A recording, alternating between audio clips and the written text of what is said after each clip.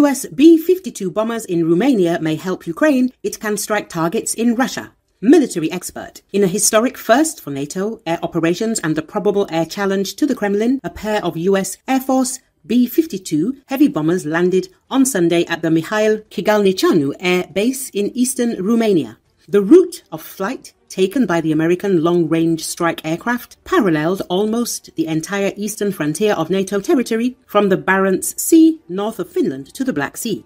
Although remaining in international airspace, the US heavies made a provocative close pass of the Kola Peninsula and a giant airbase used by Russia for bomber strikes against Ukraine. It was the first time B 52H heavy bombers had ever landed in Romania, a US Air Force statement said. The last time the Stratofortress bombers had been present in airspace proximate to the Black Sea was in August 2023. Valery Ryabik, Ukrainian military expert, development director of Defense Express Media and Consulting Company, believes that the arrival of the US B 52 strategic bombers in Romania signals Washington's readiness to handle security issues in the region. He shared this opinion on Espresso TV.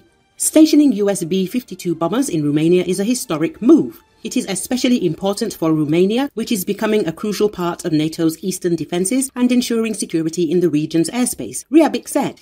The expert noted that B 52 bombers can strike targets in Russia from thousands of kilometers away. The presence of B 52 bombers in Romania shows the US is ready to take on strategic tasks in the region. These bombers, which can also carry nuclear weapons, represent a significant development, especially given the ongoing Russian Ukrainian war.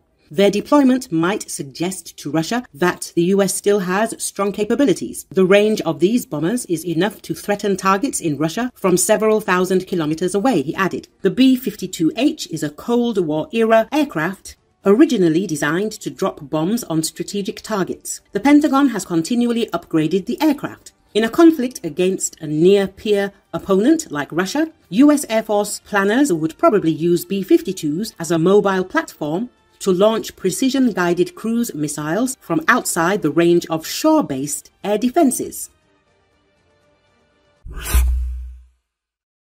Following the Russian ships, the families of Russian servicemen are also leaving Crimea. The families of occupying Russian officials stationed in annexed Crimea are relocating from the Black Sea Peninsula amid intensifying attacks by Ukraine's forces, according to Kiev intelligence. The Newsweek media outlet reported this. Andriy Yusov, spokesperson for Ukraine's main intelligence directorate, was quoted by the local telegram channel Crimean Wind as saying that while Crimea remains a crucial hub for Russian military logistics in the ongoing war, occupying forces have already relocated part of the Black Sea Fleet to Novorossiysk in Russia's Krasnodar Krai.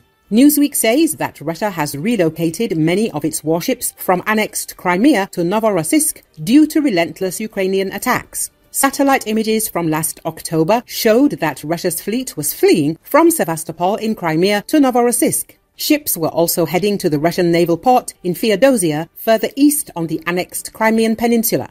More recent satellite images from April, shared by open source intelligence OSINT researcher MT Anderson, appear to show that the Black Sea Fleet has largely abandoned its major Crimean naval bases.